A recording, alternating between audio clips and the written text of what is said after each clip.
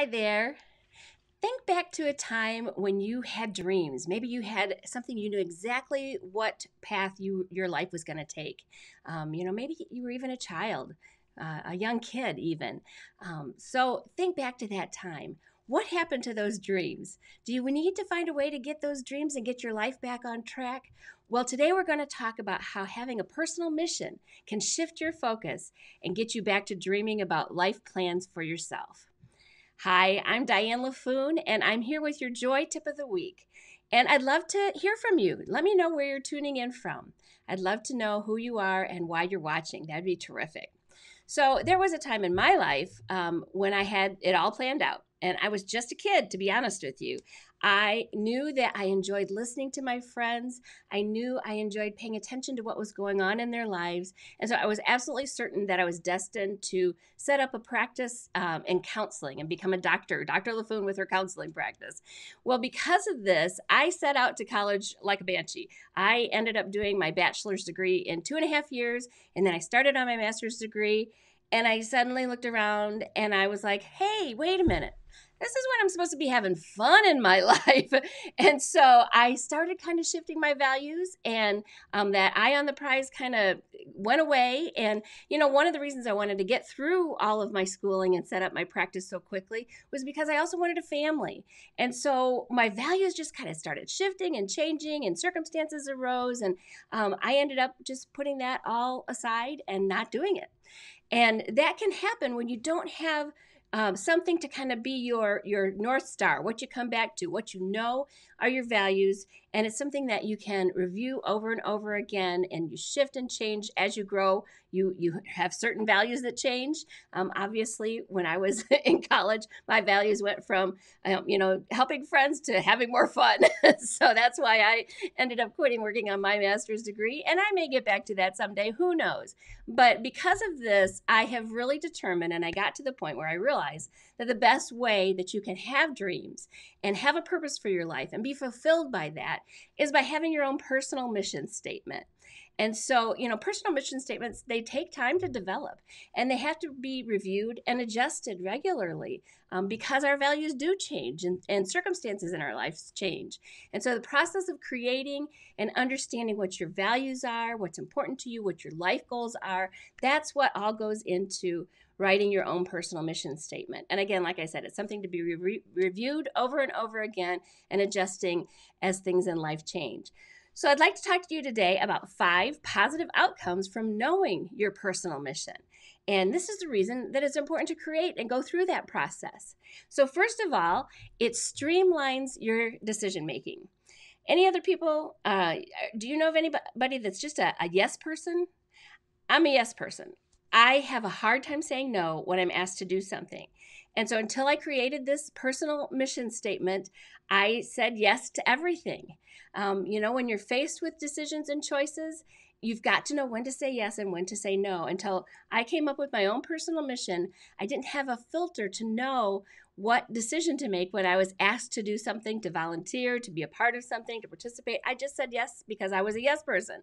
So if you're a yes person, a personal uh, mission statement can help you streamline that decision making and know when to say no and and no, no is a complete sentence. That was a hard one for me to remember too. No is a complete sentence.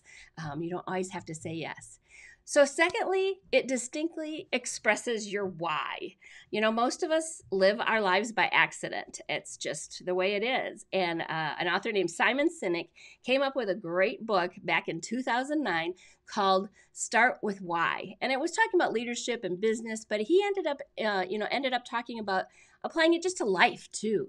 And he says, and, and this is important to know, knowing your why is the one constant that will guide you toward fulfillment in your work and in your life.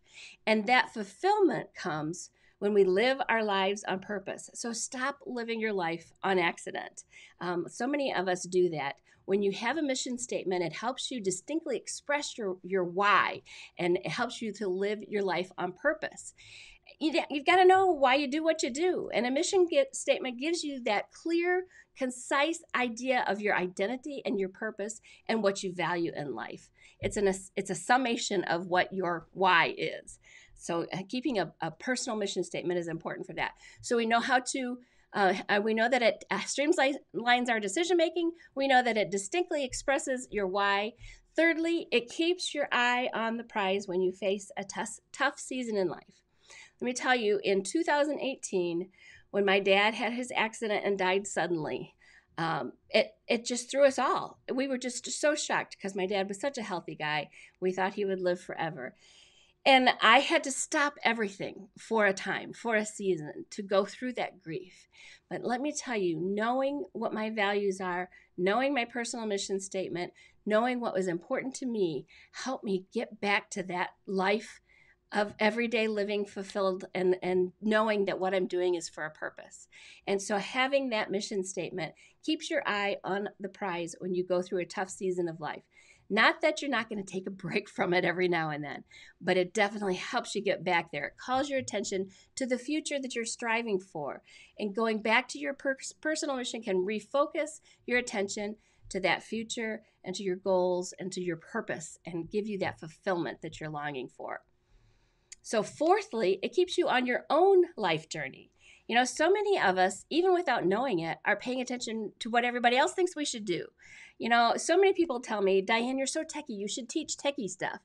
Do you really think? Well, I, I know there are people that find fulfillment in that, but I don't find fulfillment in teaching people, you know, you press this button instead of that button, or you just click around, you're not going to break anything. That's not a fulfilling thing for me. What I'm doing right here, talking to you, telling you about how to have a personal mission statement and why it's important and what it will do for you, that's fulfilling for me. And it lines up with my mission statement. So don't let others direct your per- path and your purpose. Um, having your own personal mission statement keeps you on your own life's journey rather than listening to all the in, uh, input from all of your friends and your family. Now, I will tell you, there's one exception to this, and that would be for those who are married. Definitely, when you are married, you need input and, and um, conversation with your spouse as to what you value together as you move forward in life and what your life purpose together would be because when you are married you are one with your spouse um, but other than that honestly i don't see that you, you can take uh, advice you can take you know um, conversation and, and talk things out with people, but don't let them direct what your personal mission should be. This keeps you on your own life's path.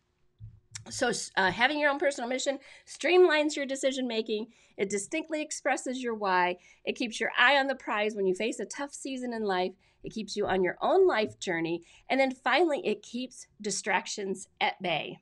Um, my dentist growing up used to always say, What the eye hath not seen, the heart doth not want. And so, you know, it's called the lure of that shiny object syndrome. Um, it used to be just magazines or um, shopping that we'd see all these things that would distract us and get us going in different directions. But now we have distractions everywhere. Um, I tell you, Pinterest is, is one of those distracting, distractions.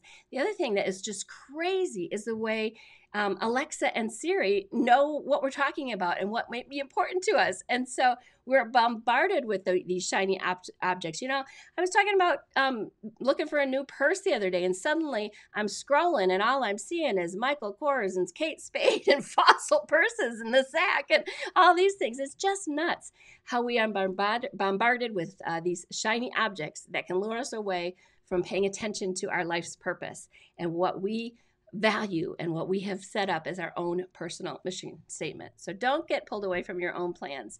Definitely stay on, on mission. It keeps you on track for what your dreams are, for what your life purpose is, and it helps you to be more fulfilled. So when um, when you think about it, um, I'd like I'd like to let you know my personal mission statement. It is to glorify God and to encourage people I encounter by living a healthy lifestyle, always learning new things, and giving generously. And this is what I line up everything by. I do change this once in a while. I go back and I review what my values are and see if they need to t- tweak and adjust it at all. But this has been my personal mission statement for quite some time, actually, to glorify God and encourage the people I encountered by living a healthy lifestyle, by learning new things, and by giving generously. So those are my priorities. But your priorities are what matters for your life. And so I would tell you it's important to come up with your own personal mission statement so that um, you can streamline your decision making. So that, sorry about that. so that you can distinctly express your why, so that it keeps your eye on the prize when you're going through difficult times, so that you can keep you on yourself on your own life's journey, being fulfilled, and so it can keep those shiny objects and distractions at bay.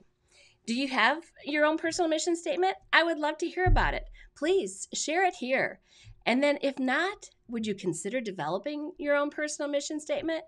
Reach out to me if you'd like a little help with the process. I have a series of emails or text messages that I could send that would kind of guide you along how to create your own personal mission statement. And so I'd be glad to share that with you. You just need to reach out to me and I'd be glad to, to help you along that process. And it is a process. But once you get it done, it's just that, you know, that North Star, that mission, you know what your life's purpose is and you know how to be fulfilled and succeed in those dreams. So thanks for watching if you have a mission or when you have a mission, you know what is your life is all about. And that's so important to choosing joy. When you know that you're not kind of living life by accident, when you know that you're fulfilled and you have dreams and you have values that you've lined up as your personal mission statement, you can choose joy. Because joy doesn't simply happen to us. You have to choose joy and you have to choose it every single day. Thanks for watching.